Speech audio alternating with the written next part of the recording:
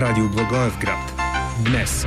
Атлантическият клуб в България е организатор на една много интересна инициатива, атрактивно начинание, наречено Ало Космос, говори България. За какво става дума, каква е идеята, ще разберем сега от Екатерина Димитрова. Здравейте!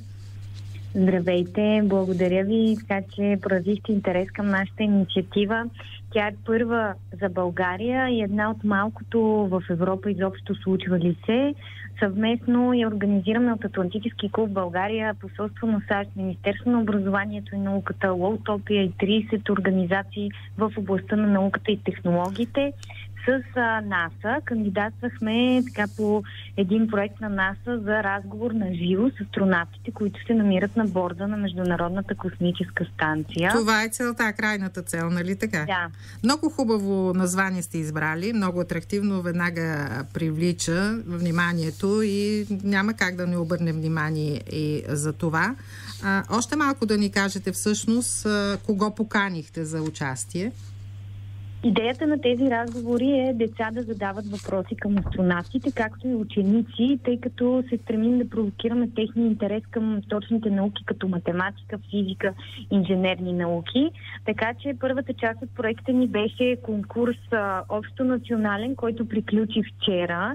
А, и деца от цялата страна можеха да задават своите въпроси към астронавтите. В момента, в тази минута, нашето жури от а, 30 членове, представители на най-престижните организации, включително и член журито от Министерство на образованието, оценяват точно сега близо над 200 видео въпроса, които получихме от цялата страна за изключително кратък срок от две седмици. А успяхте ли да направите преглед и поне да ни кажете има ли подадени видео въпроси от ученици от нашия регион, от Югозапада?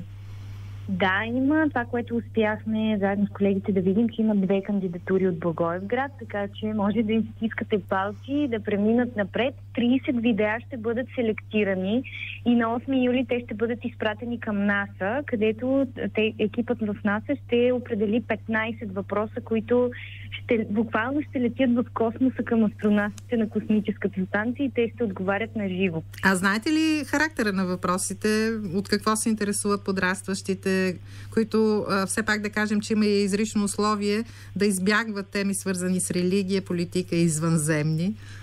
Точно така, но това е напомняне, което така или иначе на децата, честно казано, не им хрумва. Разбира се, най-предизвикателно е ограничението за въпросите към извънземни, но има изключително интересни въпроси, феноменални и то от деца, които са на много ранна детска възраст, например под 10-12 години. 90% от въпросите ни са свързани с а, въпросите на децата, са свързани с животът на Международната космическа станция. А, как оцеляват там астронавтите, въпроси въпроси, свързани с гравитацията, дали как стига горивото на Международната космическа станция, какво могат а, те да така, посъдят като растения, например. Въобще чисто ежедневието и как се оцелява в космоса и на тази станция. Голямата дата 26 юли, понеделник. Тогава ще се осъществи видеовръзката с астронавтите, нали? Точно така. След обед все още очакваме точно потвърждение на часа между 17 и 19 часа.